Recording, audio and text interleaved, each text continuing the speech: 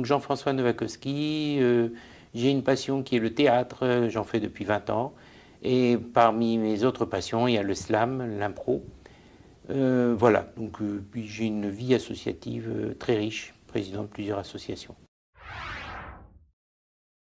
Donc c'est la SAS Lamava, une entreprise qui a pour vocation de permettre la diffusion du théâtre, de l'improvisation, de la danse, enfin bref, de tout ce qui concerne l'art vivant. La Mava, qui signifie la maison de l'art vivant en amateur, est située à Lille dans le quartier de Fives.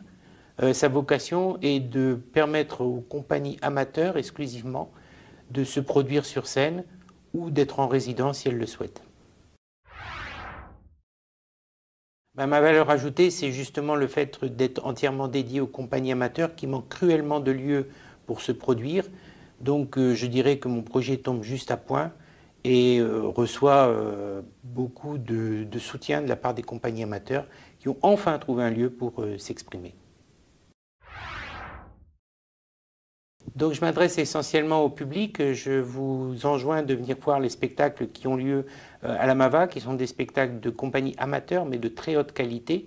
je m'adresse également aux compagnies amateurs elles-mêmes, afin qu'elles puissent venir profiter du lieu pour faire des répétitions ou des résidences et enfin à tous les professionnels qui cherchent des lieux pour faire soit des séminaires, soit des, assemblées générales.